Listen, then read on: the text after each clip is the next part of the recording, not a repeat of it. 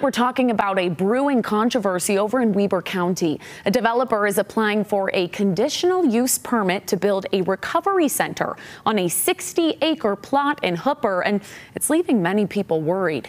ABC4's Northern Utah correspondent Cade Garner has the story.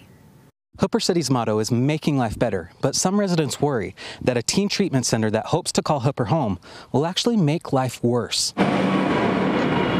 This is a typical site in the city of roughly 10,000.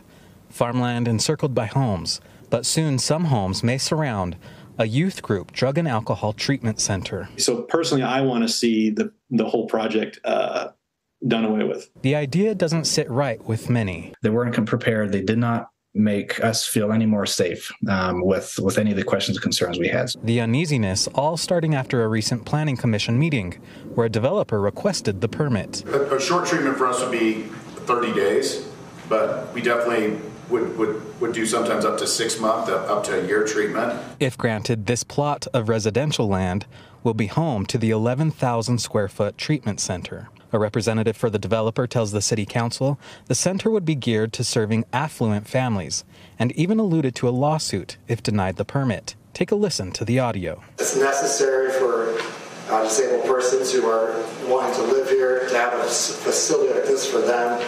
Otherwise, uh, they'd be denied the, the right and equal opportunity uh, according to the Fair Housing Act, and that's illegal.